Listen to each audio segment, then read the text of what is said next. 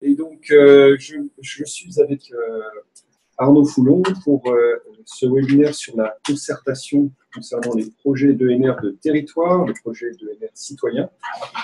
Ce webinaire fait en fait une introduction pour une séquence de formation d'une journée qui aura lieu le 16 novembre à Paris.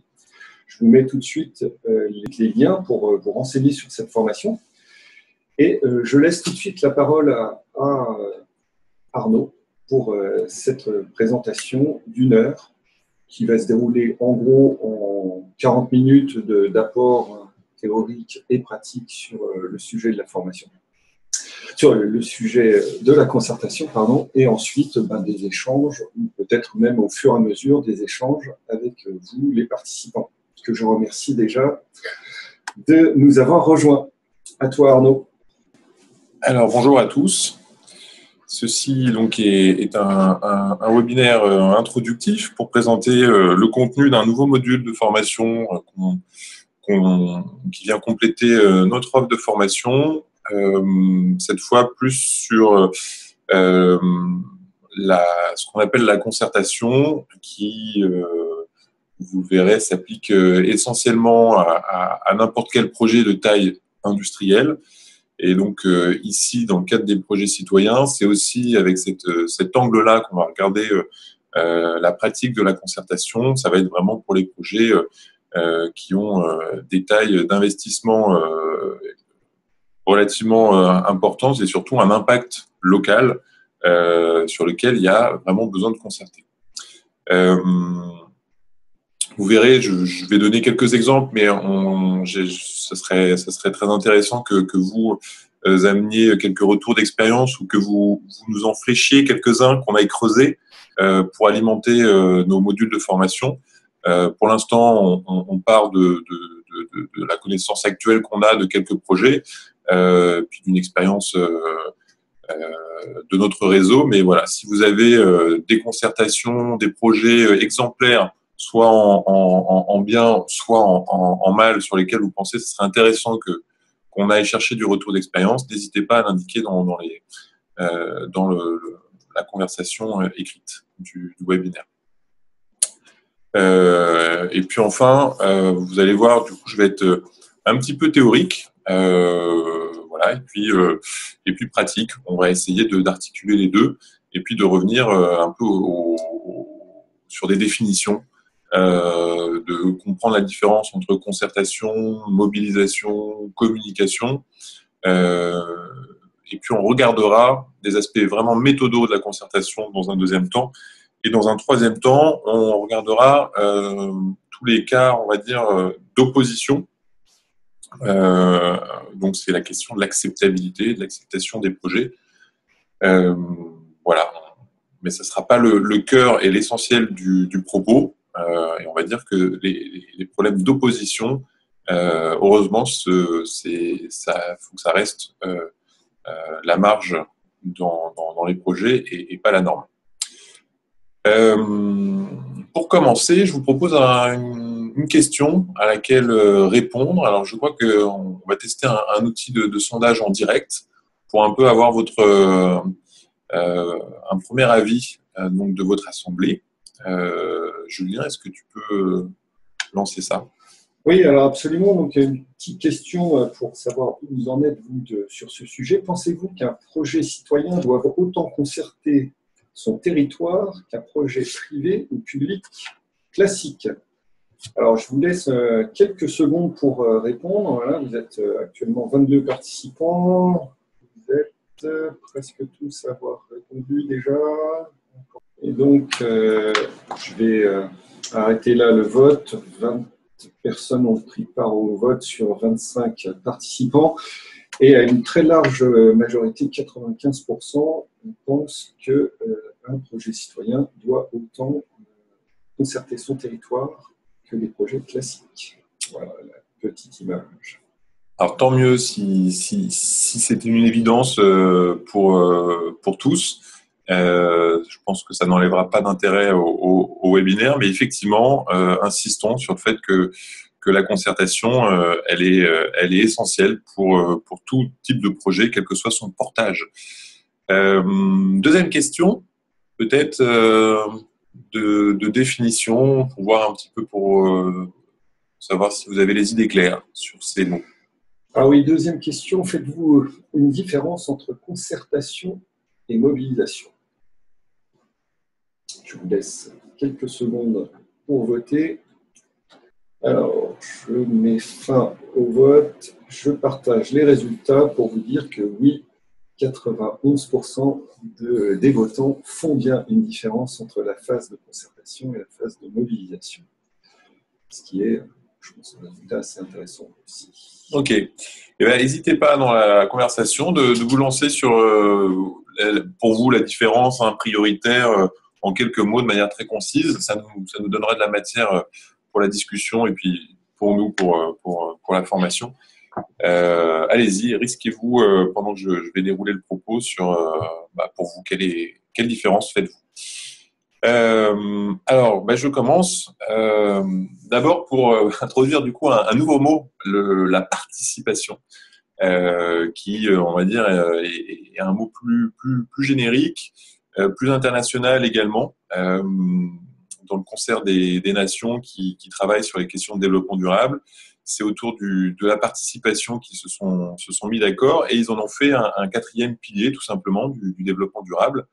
Euh, et alors rappelons juste quelques, dates, mais c'est vraiment, je ne vais, je vais pas être lourd dessus, mais pour vous dire qu'on n'invente rien euh, en matière de concertation dans les projets citoyens, peut-être on va faire un petit peu euh, d'innovation, mais, mais globalement, c'est quelque chose qui s'inscrit depuis longtemps dans la question de l'environnement.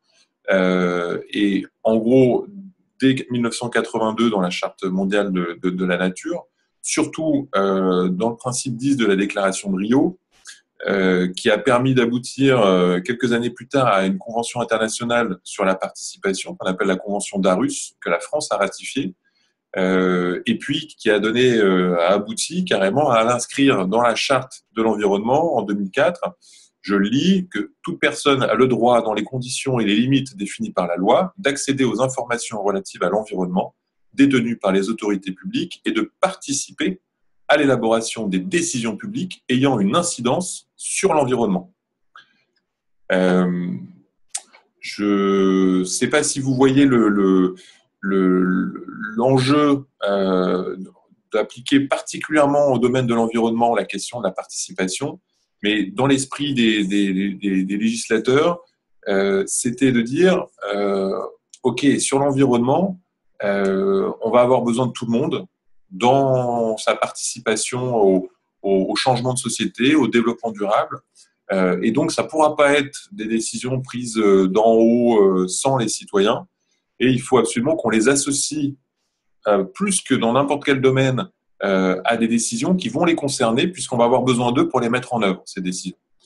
Euh, donc voilà, c'est vraiment euh, les citoyens partie prenante de leur environnement, de leur territoire. Euh, faut qu'on les associe. Donc voilà, c'est institutionnalisé et là-dessus, je pense que projet citoyen, on doit être exemplaire dans cette, dans cette démarche et dans cet esprit. Alors, la concertation, c'est un mot qu'on utilise à toutes les sauces. Je pourrais vous sortir des dizaines de définitions. Gardons-en deux, euh, assez simples, assez triviales. Euh, la première, c'est de s'accorder euh, à plusieurs personnes pour agir en vue d'un projet commun. bon, alors là, ça, ça dit, ça peut être du coup très large. après, ça prend une réalité juridique, et c'est souvent celle-ci qui est la plus entendue par les collectivités ou les développeurs à savoir, euh, c'est tout ce qui va être avant l'enquête publique euh, dans les projets. Et, du coup, voilà, ça laisse pas mal de, de, marge de manœuvre, d'autant que, que, la loi n'est pas très prescriptive en la matière, au-delà de l'enquête publique. Alors, euh, si on veut préciser un petit peu et articuler déjà ces deux premiers mots, concertation et participation, on va dire que la, concertation, euh, ça va être tout le dispositif de discussion publique d'un projet, pour le coup, d'un projet d'énergie renouvelable. Projet d'énergie renouvelable, c'est un projet d'infrastructure sur un territoire qui va impacter le territoire qui l'accueille, le cadre de vie des gens, des riverains, mais pas que. Euh, et donc, en, cela, il y a besoin d'avoir quelque chose, une, discussion, un dialogue public ouvert, cohérent, sincère, euh, et qui soit planifié avec différents outils et, qui forme un dispositif. C'est ça qu'on appelle la concertation. néanmoins, on peut faire des beaux dispositifs. c'est pas pour autant qu'il y aura réellement euh, une belle discussion publique, un, bon dialogue entre le territoire et le porteur de projet. Et euh, c'est pour ça qu'on va plutôt parler de, euh, pour évaluer, on va dire, la qualité de la, concertation, on va parler de la participation.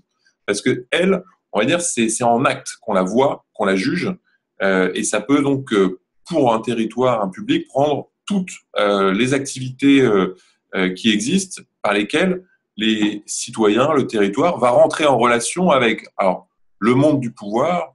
C'est un peu théorique de, dire ça, mais je pense que vous voyez bien l'idée, euh, et surtout avec le porteur de projet.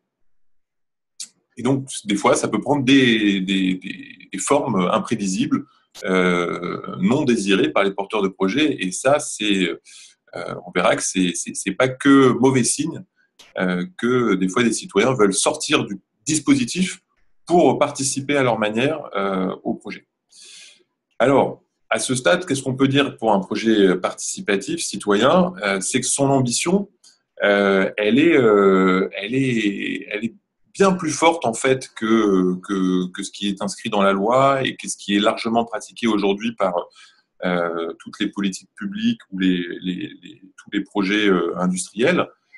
Sur les projets d'énergie renouvelable citoyens, euh, qu'est-ce qu'on va chercher? On va chercher une gouvernance, une participation des gens dans la gouvernance du projet, et ça dans son élaboration, mais aussi en phase d'exploitation, ce qui est euh, vraiment euh, remarquable. Et en plus, on vient chercher une participation financière et on vient clairement articuler les deux. donc déjà, ça, c'est une spécificité dans le monde, par exemple, des projets industriels. à ma connaissance, il n'y en a pas sur lequel, euh, comme ça, on, fait monter dans, le financement et la gouvernance des projets euh, les citoyens. Et puis, euh, en plus, ce qu'on peut dire, c'est qu'on on sait que pour réaliser ça et déclencher cette participation financière et à la gouvernance, il faut en fait derrière qu'il y ait une mobilisation du territoire en faveur du projet, un soutien de ce territoire. et on sait aussi que c'est plus largement qu'un feu vert pour le projet, c'est une adhésion pour une transition énergétique euh, du territoire. Donc ça vient vraiment chercher euh, à créer une dynamique locale positive en faveur euh, de la transition énergétique et même de la finance éthique, puisqu'on se situe également complètement dans ce, dans ce domaine-là. Alors, maintenant, si on regarde un peu la manière de faire participer en phase d'élaboration du projet, à la gouvernance, euh, à la concertation, on voit que euh, il y a plusieurs manières d'associer les gens. Euh, la première, la plus classique, c'est celle d'informer, et c'est déjà quelque chose à faire bien. c'est pas si simple de bien informer le public, de bien faire circuler l'information. mais bon, voilà, c'est la base.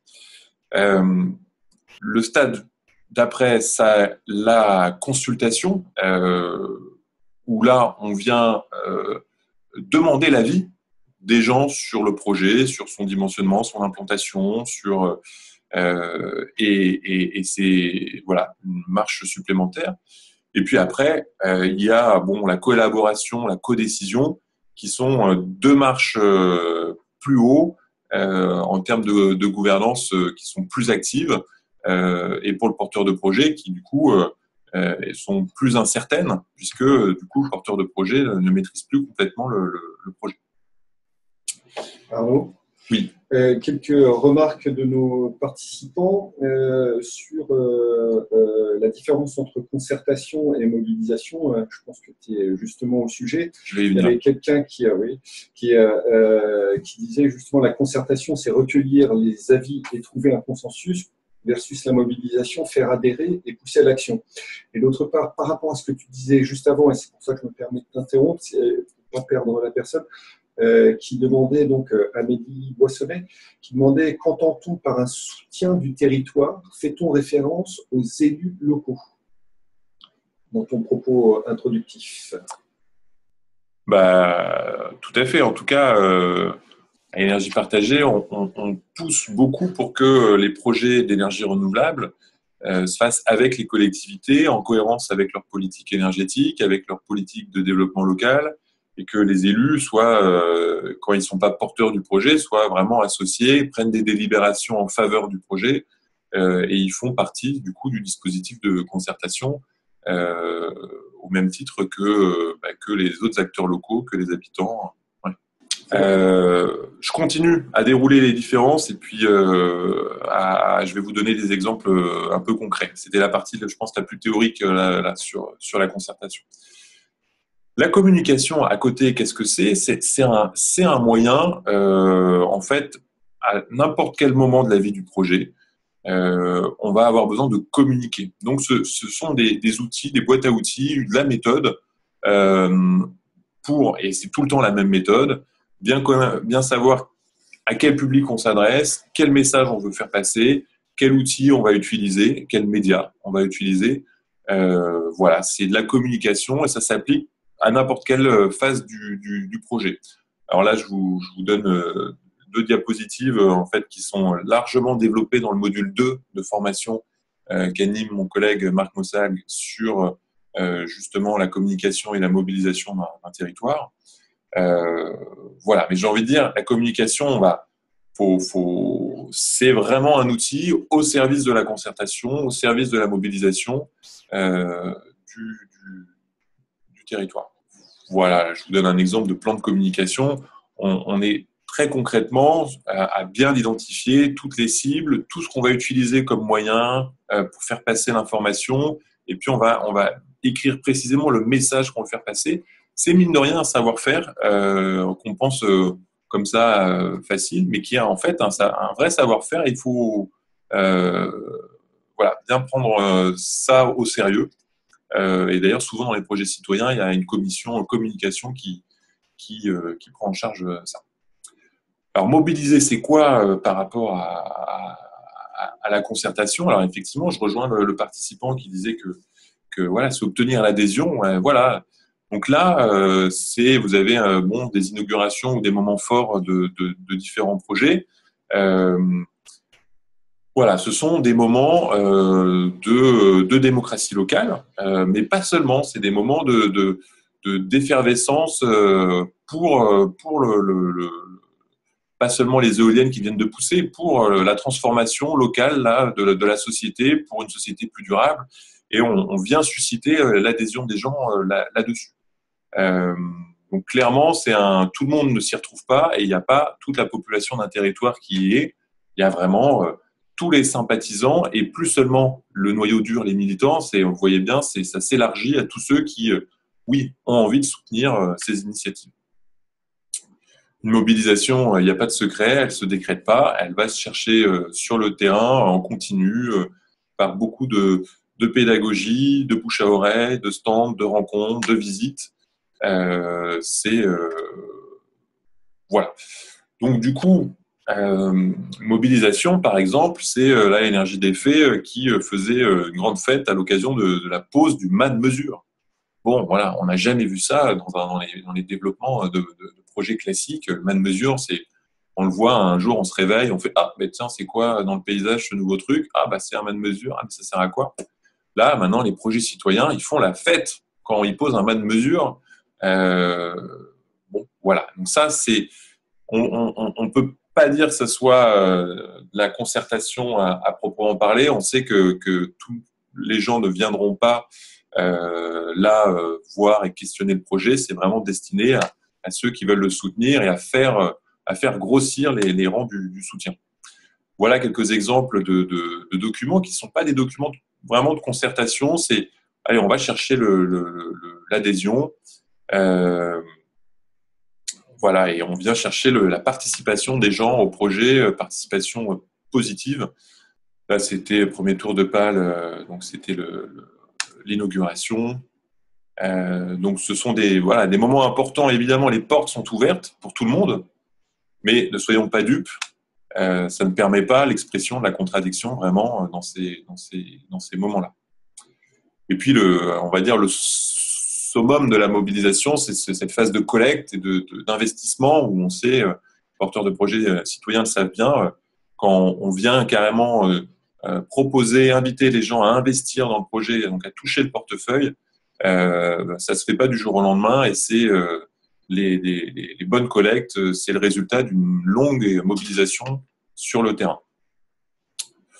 Voilà, je passe, je passe ça. Voilà pour la mobilisation. Euh, je,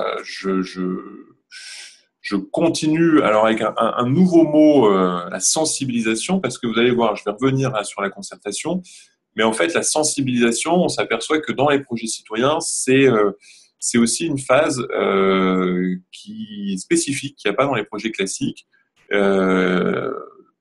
On a à cœur de sensibiliser, alors ce, mot, on peut, peut en, avoir marre, hein, mais euh, en gros euh, de faire euh, œuvre de pédagogie et d'une pédagogie pas descendante, vraiment d'aller parler avec les gens de, du développement durable, de la transition énergétique. Et ça, c'est ce qui prépare le terrain à la concertation et au développement de projets locaux et d'infrastructures énergétiques comme par exemple des éoliennes. Cette phase de sensibilisation, c'est en amont et c'est dès maintenant qu'elle doit se faire. Et j'ai envie de dire, c'est idéalement, elle se fait sans qu'il y ait déjà des projets précis sur le territoire. Euh, J'en parle parce que du coup, souvent, quand même, ce sont les porteurs de projets qui vont être amenés à faire cette phase de sensibilisation, à la prendre en charge, parce que souvent les collectivités sont pas au rendez-vous, parce qu'il n'y a pas suffisamment d'associations qui prennent en charge ce sujet-là, et du coup, bah, c'est les porteurs de projets citoyens qui euh, s'y collent. Euh, et qui bon, vont essayer de faire la différence entre le projet qu'ils portent et puis concrètement, j'ai envie de dire, le, le faire évoluer les consciences sur euh, ces sujets-là. Voilà quelques euh, exemples euh, de, de, de, tracts ou d'affiches proposées. Et vous voyez que c'est pas forcément tourné sur bon le projet pour ou contre. c'est bon qu'est-ce qu'on veut pour notre territoire, qu'est-ce qu'on attend? et bah, venez, on va en parler. Puis on invite l'espace Info Énergie, on invite Enercop, on va, on explique qu'est-ce que c'est un projet, mais aussi euh, qu'est-ce que c'est la transition énergétique? On fait venir négawatt, euh, voilà. Euh, cette phase de sensibilisation, elle a en plus, elle a un coût, hein, donc souvent c'est un coût pour le projet, et pourtant elle est indispensable avant de commencer la concertation. Alors, justement, la concertation, si j'y viens, je vais rentrer un peu dans des éléments de méthode. D'abord, il faut savoir que euh, aujourd'hui, c'est un métier d'animer de la concertation. Il y a euh, plein de professionnels aujourd'hui qui viennent d'horizons différents, de la communication ou euh, de la science politique ou de l'animation, et qui aujourd'hui sont des professionnels de la concertation. Certains se spécialisent carrément dans les énergies renouvelables et en fait apportent une vraie plus-value dans le développement des projets. Alors, quelle est-elle? Qu'on comprenne bien. Euh, donc en fait, ce sont des, professionnels qui vont être payés par euh, la collectivité ou par euh, souvent le porteur de projet, par le développeur, pour animer ce dialogue avec le territoire et ce dispositif. Donc, en gros, à quoi vont-ils servir? Ils vont, être, ils vont avoir un rôle de tiers, indépendant, plus ou moins, ils sont payés par le porteur de projet. et quand ils font bien leur boulot et ils savent être euh, indépendants. Euh, ils sont rarement locaux, ils viennent souvent d'ailleurs, souvent des consultants, des bureaux d'études, et en fait, ils, permettent dans le dialogue avec le territoire aux porteurs de projet de défendre son projet, mais que le dispositif de concertation ne soit pas biaisé, faussé par, un porteur qui serait jugé parti dans les débats. Donc ça, ça vient vraiment soulager le porteur de projet de, de, cette accusation, ah, bah, de toute façon, c'est les truqués, vous êtes jugé parti. Non, il y a une animation, il y a un dispositif euh, qui parfois, des, des, fois, peut être même garanti par ce qu'on appelle un garant, euh, qui est donc une personne extérieure, alors là, vraiment, qui n'a rien à voir avec le schmilblick, sur des gros projets qui peuvent être nommés par la Commission nationale du débat public pour vraiment superviser le dispositif et assurer son impartialité et la sincérité de la concertation. Bon, en théorie, c'est à la collectivité, quelle que soit sa place dans le projet, de garantir la bonne concertation sur son territoire. Euh, il faut que c'est elle qui, qui, est la garante de la démocratie locale sur un territoire. Euh, clairement, il faut qu'elle se, mouille euh, dans la bonne concertation et qu'elle soit exigeante en la matière, que ce soit elle qui porte le projet ou pas. Euh, sur les professionnels, j'aimerais signaler qu'on on voit qu'il y, y, a deux manières de faire le métier et je ne dirais pas qu'il y en a une meilleure que, que, que l'autre, bien que euh, voilà, ça, reviendrait à, à, dire bon alors pourquoi on est, est-ce qu'on est pour le projet ou pour la démocratie locale? C'est, Je ne veux pas opposer, mais quand même, dans les professionnels, il y a ceux qui vont vraiment organiser l'échange euh, de manière à ce que euh, l'échange euh, produisent le projet. Et ça veut dire que d'abord, ils sont au service de l'échange et du dialogue. Et puis, on verra comment le projet euh, euh, sortira de ce dialogue ou ne sortira pas. Euh, et puis, il y a d'autres professionnels qui sont vraiment au service d'abord du projet et ils viennent organiser l'échange pour que le projet se réalise dans les meilleures conditions possibles. mais j'ai envie de dire presque coûte que coûte. Il faut que l'échange permette cette réalisation. voilà. Donc voilà, être au service de l'échange ou être au service du projet, euh, c'est deux postures différentes chez, les professionnels, euh, mais c'est bien de, la repérer. Bon, là je vais aller très vite, hein, on rentre plus dans le détail dans la formation, mais globalement, euh, une bonne concertation d'un projet d'énergie renouvelable, et d'ailleurs de n'importe quel projet, c'est de tenir compte et de rendre des comptes sur ce qui a été décidé à l'issue de la concertation. Donc ça veut dire qu'on n'ouvre pas des instances de dialogue euh, avec les gens si derrière c'est déconnecté de l'élaboration du projet, si derrière en fait ceux qui font le projet n'en tiennent pas compte et si derrière on ne retourne pas voir les gens en disant voilà ce qu'on a décidé, voilà ce qui a été décidé, euh, voilà comment on tient compte. Euh, alors on a gardé ça et ça et ça de ce que vous aviez dit et puis ça et ça et ça on l'a pas gardé pour telle et telle raison.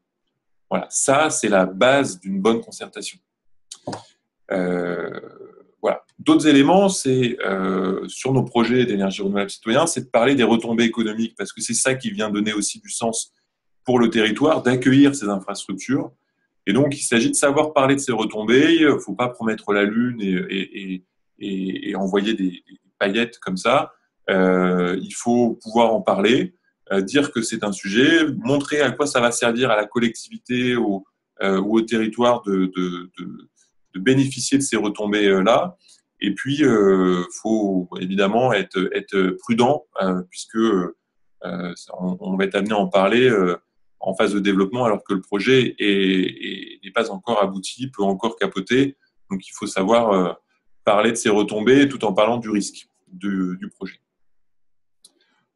un troisième point, c'est du coup ce qui rejoint la mobilisation, c'est dans les projets citoyens, ce dont ce qu'on voit, c'est pas une garantie, mais mais, mais, mais c'est ça qui est magique dans les projets citoyens, c'est que la concertation va pouvoir s'appuyer sur un groupe d'acteurs euh, motivés, euh, pour le coup, qui adhèrent, qui sont en soutien du projet.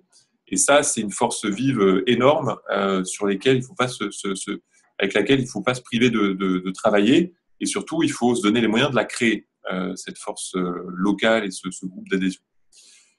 Euh, voilà. Julien, tu me fais signe Oui, juste quelques réactions de nos spectateurs qui commentent assez nombreuses. On a Jacques qui rappelle que le tiers en charge de l'animation euh, de la concertation devrait être missionné par la collectivité. Les élus sont les mieux placés pour initier un processus d'échange avec leurs administrés. Quelqu'un qui lui répond dans la foulée que euh, mais quand la collectivité ne fait pas le travail, il faut tout, de même prendre en charge la concertation au sein des collectifs citoyens. Et puis j'ai quelqu'un sur Facebook, puisqu'on tu sais qu'on retransmet maintenant nos webinaires sur Facebook, qui, euh, nous dit que dans le, le cadre des PCET, les collectivités ont un devoir de mobilisation et de concertation citoyenne avec la mise en place d'écoutants, d'ambassadeurs de la transition énergétique dont certains peuvent également être porteurs de projets citoyens. Pas d'exemple à valoriser en Occitanie à travers le réseau des territoires engagés dans la transition énergétique. Enfin, quelqu'un qui rappelle que les collectivités ont ce mmh. devoir. Super, j'abonde dans, dans, tout ce qui a été dit. Euh, alors, dans la, méthode de, de, concertation, et souvent celle qui est euh, appliquée par les professionnels de la concertation, ils commencent tous par un diagnostic du territoire. Euh, il y a besoin d'aller euh, comprendre, le territoire. Et du coup, quand c'est un portage local citoyen, eh bien, je pense que cette étape, elle est indispensable également parce que on pourrait vite fait penser qu'on connaît son territoire, on connaît les gens qui habitent, etc. En fait, pas tant que ça. Et puis, il y a des dynamiques qui sont en cours. Euh, tout n'est pas visible. Et puis, de toute façon, on parle toujours d'un certain point de vue. Euh, c'est rare qu'un porteur de projet citoyen, un collectif euh, d'habitants ou la collectivité soit vraiment représentative de, son, de la diversité de son territoire. Donc, c'est important de faire une phase de diagnostic partagée du territoire avant de se lancer dans, dans la concertation et l'élaboration d'une concertation. Euh, là, c'est l'exemple d'un outil euh, ludique, un jeu qu'on a mis au point pour faire ce diagnostic avec euh, les, acteurs locaux et pour voilà, pouvoir faire sortir cette connaissance que tout le monde a, mais la mettre bout à bout de manière visible, intelligible et qu'elle vienne servir, alimenter le, la stratégie de concertation. je vous disais que la concertation, ça se planifie. Euh, donc c'est le rôle aussi euh, d'un de quelqu'un, d'un professionnel qui, euh, qui ferait ce, ce, travail, c'est de dire bon, vous n'allez pas nous laisser discuter tranquillement dans notre coin et vous développer le projet, euh, quand bien même vous êtes des citoyens ou une collectivité, il va vraiment falloir articuler les deux. Ça veut dire que quand vous faites un comité de pilotage pour décider euh, du scénario d'implantation des éoliennes, euh, ça veut dire qu'avant, il faut qu'en termes de concertation, il se soit passé des choses, qu'on se soit posé les bonnes questions avant et que vous puissiez les prendre en compte dans le comité de pilotage que vous prévoyez au second semestre de telle année. Et donc, ça veut dire vraiment aller articuler là le, tempo de la concertation avec le tempo du, projet. Oui, alors, à ce propos, euh, il y a Jacques qui dit l'importance de la mobilisation financière citoyenne en phase de développement pour permettre, lors de l'enquête euh, euh, publique, l'expression d'avis positifs en soutien au projet. Donc, d'articuler en fait la mobilisation financière du développement à une certaine période clé, de façon à, être sûr pendant les enquêtes publiques d'avoir au moins des avis positifs. Alors, sur, euh, sur ce sujet, euh, je pense que ça va dépendre des filières. Euh, c'est nous ce qu'on observe sur le réseau aujourd'hui, c'est que tous les projets font pas le choix de, de mobiliser financièrement le territoire euh, largement, hein, en allant chercher large pour financer du développement. et certains le font, voilà. Et c'est des stratégies différentes, mais du coup, je pourrais pas dire que c'est la clé euh, d'une enquête publique réussie euh, et ça dépendra. Mais effectivement, on a, il y a des projets euh, d'éoliens qui, qui en fait n'attendent pas ni le, le chantier, l'investissement et encore moins l'exploitation pour mobiliser financièrement le territoire et sont allés chercher et sont allés lever de leurs fonds propres pendant la phase de, de développement. Mais encore une fois, c'est l'articulation avec la concertation, c'est-à-dire avec le, dialogue avec des gens qui n'iront pas euh, investir, euh, soutenir, euh, qui sont pas là-dedans, qui le seront pas et pas maintenant, mais en revanche, ils ont le droit et le même droit, euh, j'ai envie de dire, à, à, l'information et à être associés au déroulé du projet. Il faut pas que ça, devienne, euh, il faut pas que le, le droit de, de, participer au projet soit réservé aux actionnaires du projet. Surtout pas. Quelques remarques encore, si tu veux, Arnaud, pour, euh, pour ponctuer cette, cette présentation qui est dense. Hein. une personne qui. Alors, oui, Jacques disait qu'effectivement, ça concerne plus l'éolien. Sa remarque concernait plus l'éolien, on s'en serait un peu douté. une autre remarque, dans le pays d'Olt, nous avons choisi la technique de la page blanche. On, on privilégie l'échange d'entrée car aucun projet n'existe les gens veulent en créer, mais quel sera le plus adapté? La question reste posée. Technique de la page blanche. À page blanche, et puis euh, là, c'est super quand, on est à ce stade-là de la planification euh, dans la concertation. voilà, ça, c'est super. Et derrière, quand vous allez concerter sur les projets qui auront été déjà choisis de manière concertée, c'est, ça sera l'idéal. Deux questions encore euh, avant de te laisser poursuivre. Euh, quelles sont les données à recueillir pour réaliser un bon diagnostic? Question d'Amélie. Alors, je suppose que c'est peut-être un petit peu détaillé et que tu vois ça peut-être plus dans la journée de formation de novembre. Euh, et sinon, quel est le nom du jeu que tu as présenté? Alors là, le nom du jeu, c'est un jeu énergie partagée pour l'instant, puisqu'il est essentiellement dans nos séquences de formation. Je te laisse quand même compléter la réponse. Voilà, donc ce jeu, il fait partie d'une petite boîte à outils de, quatre jeux qu'on a développés pour nos formations et pour l'accompagnement des projets que, nous faisons Énergie Partagée et que nos partenaires, euh, notamment les, animateurs régionaux, euh, peuvent faire euh, sur leur territoire.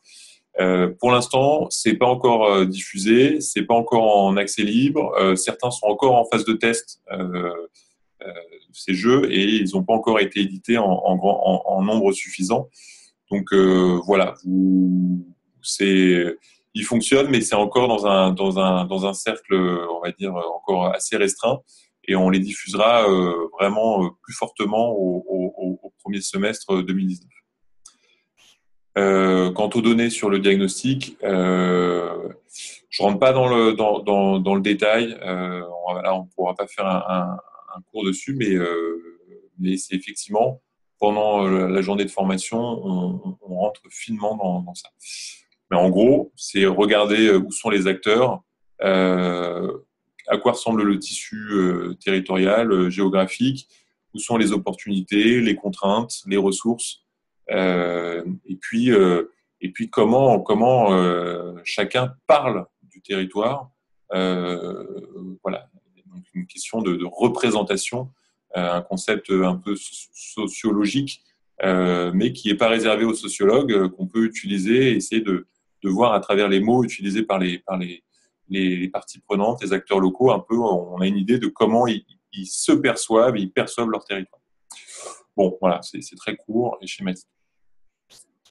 Euh, je rentre un, tout petit peu. Alors là, je vais aller en fait très vite. Je ne vais pas rentrer dans le détail, euh, mais pour vous dire qu'une concertation, ça se planifie.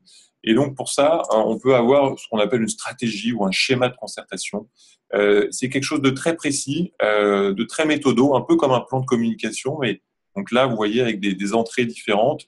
Euh, je les détaille pas là, mais c'est l'objet de la formation que de savoir faire un schéma de concertation, et de savoir se poser toutes ces questions avant d'entamer une concertation. En gros, l'idée, il ne faut pas se lancer dans une concertation avec une belle annonce d'un projet sans derrière avoir déjà réfléchi au deuxième, troisième, quatrième coup de la concertation. coup, j'entends rendez-vous. voilà, donc il faut. ça ne veut pas dire que le projet tout est ficelé ça veut dire qu'on sait, on sait donner une visibilité sur les moments de rencontre avec le public, avec les habitants, pour échanger autour du projet. Euh, évidemment, il faut des moyens et ça se, voilà, ça s'évalue, ça se pilote. Les outils de la concertation, je rentre pas non plus trop dans le détail, mais euh, euh, le premier, je vous disais, c'était la sensibilisation en phase d'émergence. En phase de développement, eh ben, y a, ça va de la réunion publique aux outils virtuels parfois mis en place autour des sites internet, à des ateliers de concertation où on est là vraiment pour, pour produire et fabriquer, j'ai envie de dire, le projet avec les gens. Ça peut être travailler avec des instances constituées comme les conseils de développement durable, les conseils de quartier, les, voilà, les, les, instances de la démocratie locale. Ça peut être des enquêtes et des jurys qui sont, qui sont faits, des sondages euh, peut-être des formations. Pour dire que la palette est grande, euh, il n'y en a pas un meilleur que l'autre. En fait, il faut savoir les articuler et leur donner du sens dans la concertation. Je termine juste. Euh, en chantier, il y a d'autres outils en phase d'exploitation parce que la concertation continue en phase d'exploitation. ça peut, et c'est souvent le cas, se transformer alors bon, bah, soit c'est dans la gouvernance de la société de projet citoyenne que ça se passe. ça peut aussi se passer dans des comités, comités de suivi, où là, là, il y a l'ensemble des, des, acteurs qui sont associés et pas seulement les actionnaires du projet. Oui, à propos de la concertation en phase de développement, il y avait un message assez ancien de Jacques Quentin là, qui dans le. Alors juste Jacques, Jacques Quentin de Confluence, je crois, euh, était un euh, professionnel de la concertation, notamment sur les projets éoliens, euh, a une longue et grande expérience de, de projet et il a fait partie des fondateurs d'énergie partagée. Euh, et, bon, d'avance, Jacques, excuse-nous de pas donner la parole parce que c'est pas le dispositif. Et puis, euh, mais, euh, mais ton témoignage, notamment lors de nos formations, sera vraiment précieux. Oui, donc il rappelait que la concertation en phase de développement demande la participation effective des parties prenantes à la définition collective des modalités de mise en œuvre du projet, démarche d'échange articulée au processus d'étude.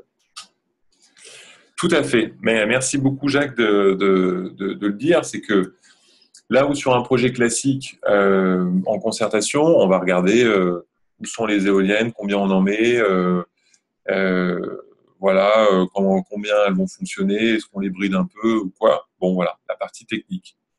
dans une concertation d'un projet citoyen, on va être amené aussi à concerter sur le montage juridique financier du projet et sur la part que peut, souhaite vouloir prendre le territoire dans, euh, dans le portage du projet. Et donc, on va ouvrir les portes euh, et euh, on va travailler, y compris le montage juridique et financier. Alors, plus ou moins, ça va dépendre des, des projets, mais ça fait partie du, du, sujet de la concertation, beaucoup plus que quand c'est un projet classique où le tour de table est verrouillé et où c'est de façon un projet porté par, par une collectivité seul aux manettes ou euh, un développeur seul aux manettes, et où là, finalement, on va pas lui demander son modèle économique, on va juste regarder euh, combien d'éoliennes il met. Euh, sur... je, je, caricature, mais merci là, Jacques, de, de, de souligner ça. Euh, je reviens sur la concertation. Je regarde combien de diapositives il me reste. Ouais, ouais, c'est bon. Brièvement, mais voilà, en gros, ça passe beaucoup par euh, de l'information et des, euh, rendez-vous, des rendez-vous sur lesquels il faut vraiment qu'il y ait du monde. Ça veut dire beaucoup d'efforts de, publicité, d'affichage, de bouche à oreille et de mobilisation pour faire venir euh, du monde. Et puis, euh, ça continue en phase d'exploitation. Je vous le disais, là, vous voyez quelques exemples de projets éoliens euh, de, notre réseau, les ailes des ou euh, le ZEF pour les énergies citoyennes en Pays de Vilaine, avec leur projet de 10 Watt, Bégawatt et, et d'autres. Euh, voilà, on continue d'informer et d'associer les gens, et c'est bien ça le propre des projets citoyens, c'est que voilà, c'est pas un soufflet la dynamique. Euh, on essaye de l'entretenir dans le long de la vie d'exploitation. Je me suis lancé sur un, petit euh, résumé, euh, mais je vous, je vous le, je vais pas rentrer dedans et on n'a pas le temps et j'aimerais vous laisser euh, poser des questions, mais je m'en sers pas mal en, dans, la journée de formation. Euh, sur l'acceptation, euh, juste quelques mots, euh, parce que souvent ça, va, ça, peut, ça peut revenir. En gros, il n'y a pas vraiment d'études qui montrent que oui, non, il y a plus ou moins d'opposition quand il y a des, un portage citoyen. Il n'y a pas encore vraiment de recul, c'est difficile à comparer, c'est difficile à évaluer. Mais ce qu'on peut dire, et j'ai sorti une phrase la plus, ce qui me paraît le plus juste et, et raisonnable sur le sujet, je vous la lis, que le processus euh, de planification semble tout particulièrement décisif. Et là, euh, big up au projet de Dolt, euh, qui a commencé très en amont la planification. lorsque le processus de planification et de construction est vécu par les personnes concernées comme positif, l'acceptabilité des éoliennes est plus grande. C'est-à-dire quand on les a associés tôt sur le projet, qu'ils le vivent du coup plus positivement que d'être devant le fait accompli, clairement l'acceptabilité est plus grande. Quand en plus on leur dit vous pouvez avoir une place importante dedans, et eh ben euh, c'est encore plus vécu comme positif. Quand en plus on leur donne de la confiance euh, et, des gages de confiance, de transparence, c'est encore plus vécu positivement. Et donc tout ce sentiment positif, ça favorise clairement l'acceptabilité des éoliennes. Ça on peut le dire. et du coup, ces personnes se sentiront moins gênées par leur arrivée sur le territoire, voire des fois pas du tout. et à cet égard, il ne suffit pas de vouloir convaincre les riverains par des informations, euh, il faut une participation en amont du projet avec une marge de manœuvre réelle. Une marge de manœuvre réelle, c'est bien une marge de manœuvre des gens qu'on fait participer au projet. Euh, voilà. C'est issu d'une étude franco-allemande sur l'acceptabilité accrue. Ou alors, ouais, euh, grâce à des distances d'éloignement accrues. voilà. ouais, c'est pas mécanique, mais vous voyez un peu dans quel sens ça, ça, nous pousse à aller. du coup, une opposition sur un mauvais projet, j'ai envie de dire, euh, bon, c'est pas que euh, une mauvaise nouvelle, euh, c'est aussi une demande de participation, comme je disais au, démarrage. Une demande a été entendue, prise en compte, avoir une marge de manœuvre sur le projet, et donc ça peut être aussi un levier, un, réactif pour vivifier la, concertation, pour interroger le modèle économique, par exemple. Hein, combien de projets se sont ouverts aux citoyens parce qu'il y avait euh, des gens qui étaient critiques à l'égard du projet et qui disaient bah, ce projet, euh, s'il n'est pas plus ouvert aux citoyens, eh ben, on n'en veut pas. Bon, bah voilà, ça, c'est typiquement une opposition constructive, un levier pour, euh, faire des, projets citoyens. Bon, sur la contestation, d'ailleurs, je ne rentre pas trop dans le détail. C'est une, citation que je, je, je, prends de Jacques Quentin, justement, qui m'avait expliqué euh, que dans la concertation, bon, c'est bien de savoir euh, faire la différence entre des problèmes sur lesquels on trouve toujours des solutions, des problèmes techniques et qui vont générer de l'opposition, de la contestation, mais voilà, il y a, des problèmes, tout n'est pas rose. Du conflit, là, le conflit quelque chose qui s'enquiste plus sur le territoire, qui est plus émotionnel, parfois plus idéologique, euh, des fois le fait d'une petite minorité. Euh, et donc, euh, voilà, c'est bien de savoir dans quel cas on est les réponses sont, sont, pas les mêmes. Alors, je rentre plus en détail aussi là-dessus dans la, formation.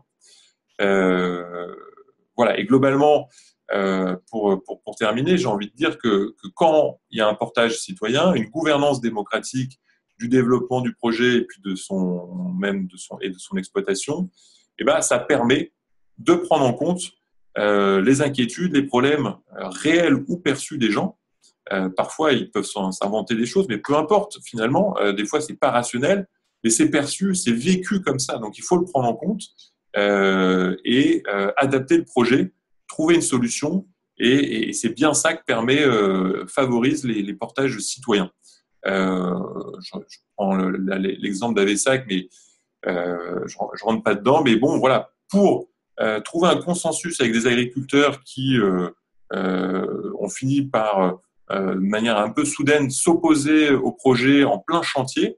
Euh, avec eux, en concertation avec eux, ils ont déplacé les deux éoliennes, donc avec euh, dépôt de permis modificatoire et tout le tintouin, reboucher les trous pour en refaire d'autres à côté. Mais voilà, ils ont adapté le projet dans une situation d'extrême urgence euh, pour le voilà pour que ça satisfasse toutes les, parties prenantes. Euh, voilà. Et quand euh, bah, il y a vraiment beaucoup de virulence et d'opposition, clairement l'enjeu n'est plus seulement le projet, mais bien la démocratie locale. Euh, et là, je parle vraiment des situations gendarmes à l'entrée des réunions, menaces physiques, voire plus des, élus ou des porteurs de projets. voilà, ça, ça arrive sur des projets de méthanisation ou, ou d'éolien comme ça arrive sur des projets d'autoroute ou de, voies ferrées, des grosses infrastructures des fois qui peuvent euh, soulever beaucoup, beaucoup d'opposition.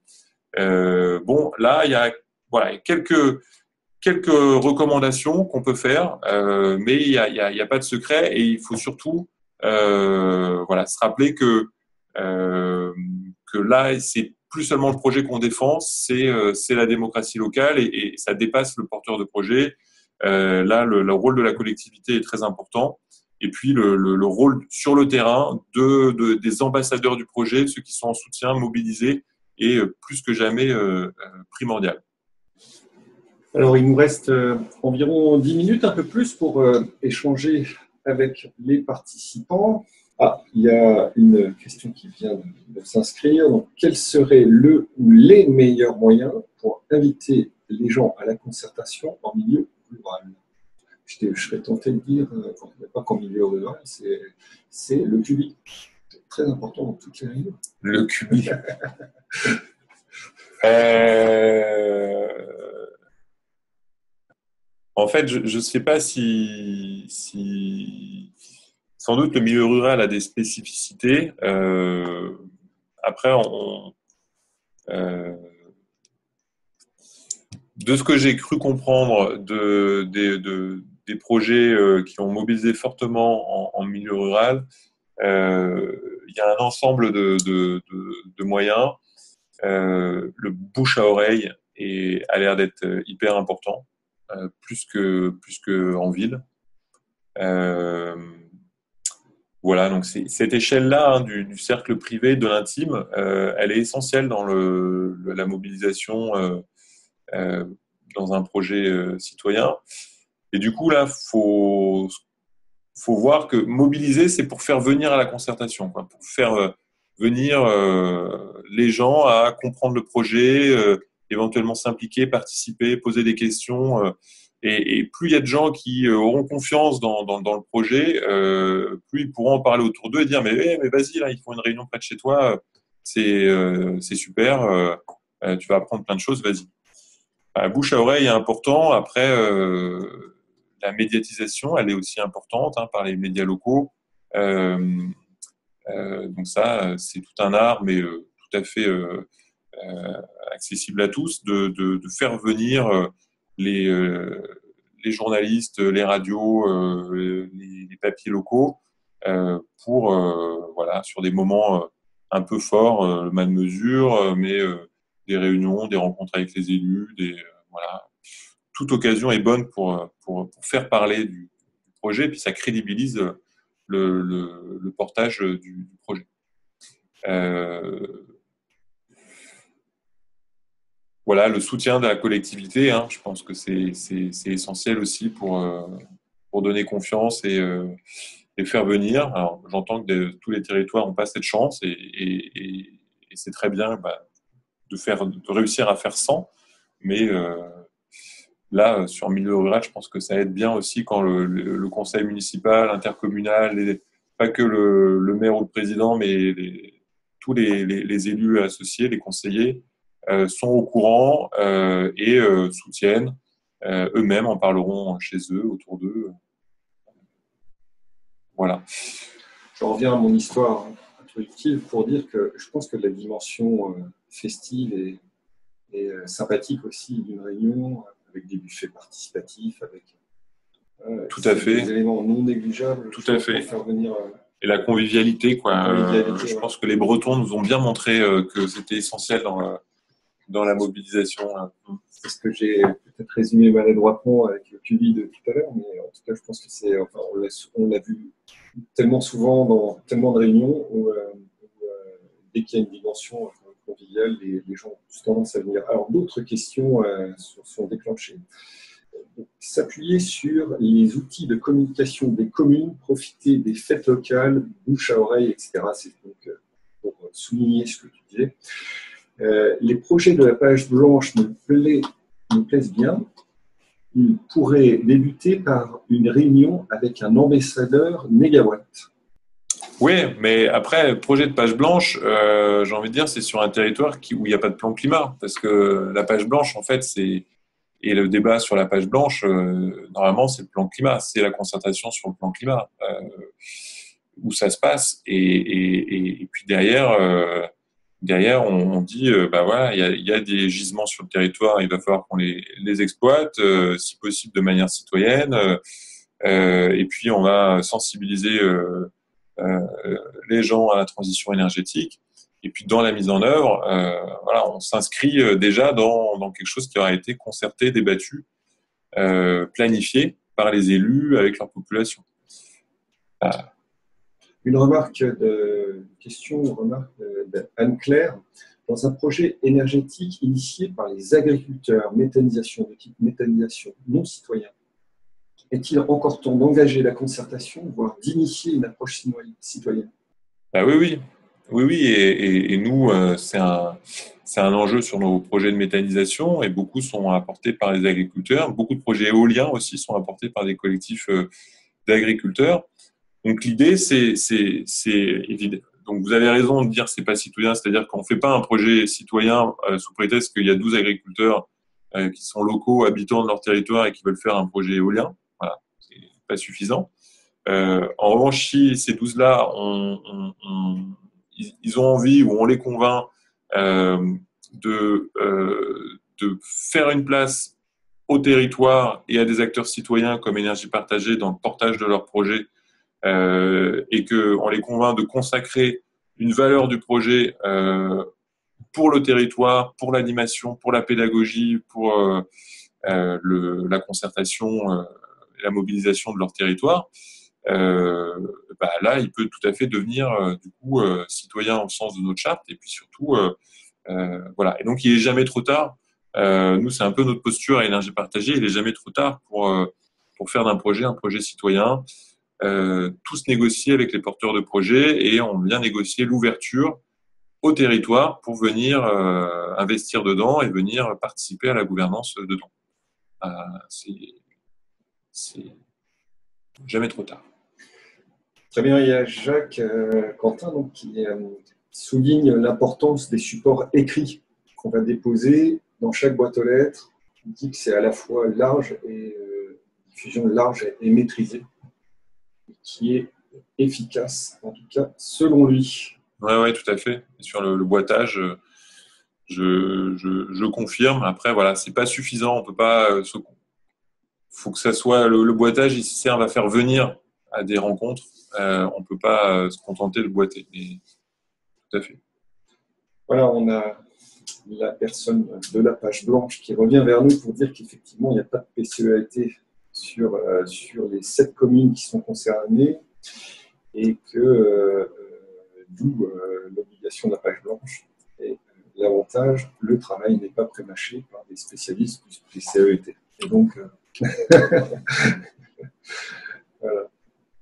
Euh, il est 13h58. Euh, C'est vraiment le moment de poser vos dernières, dernières questions. Euh, sinon, je vous donne rendez-vous au prochain webinaire qui aura lieu le 18 septembre sur l'organisation et la dynamique de groupe. Un webinaire, encore une fois, animé par Arnaud.